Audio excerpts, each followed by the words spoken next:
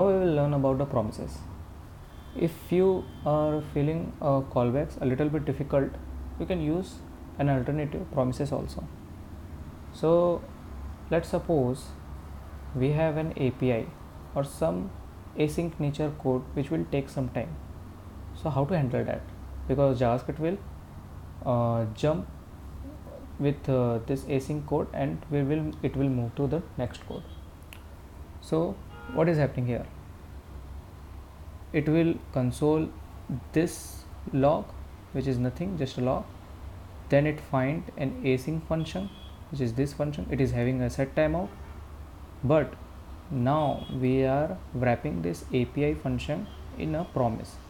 This is a syntax of writing on a promise. This we are trying to return a promise. This is a promise object. It's two it's it, it's having a two callback. Again here callbacks are here. It's having a two callback reject and resolve. So uh, inside this you can put any async nature of function which can take time.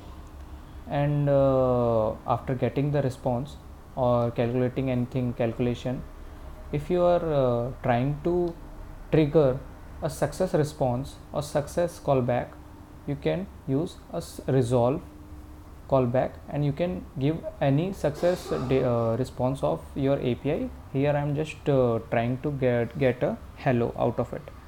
You can use reject also for a failure response. Here i am not seeing any how to get an failure but uh, you can use reject also. And if anything happens wrong in this async nature or api that will go to the catch block and it will return the error. So what happens when this api get called?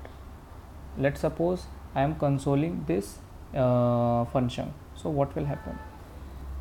Again go to the promise go to index.html inspect console. So whenever you have created a function which is returning a promise and you are consoling or when uh, consoling its execution so it will show you that it's a promise. So whenever you get the promise then you have to write a then. What a then do?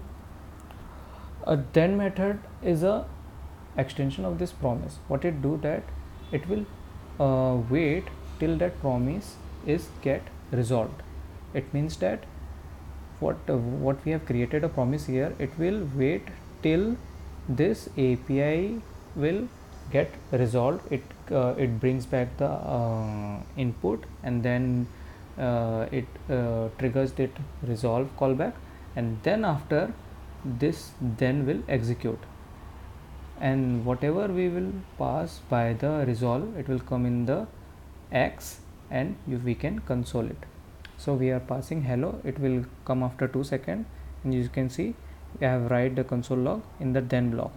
So it will come in the console log after 2 second. But as this is uh, async nature so javascript will first log this then this because it is coming after 2 second so this will log at the last. As you can see everything ends then hello so it is just an alternative of callbacks but instead of writing and callback inside and callback inside and callback you can write a clean code with a promise and uh, you can avoid the callback hell problem. Thank you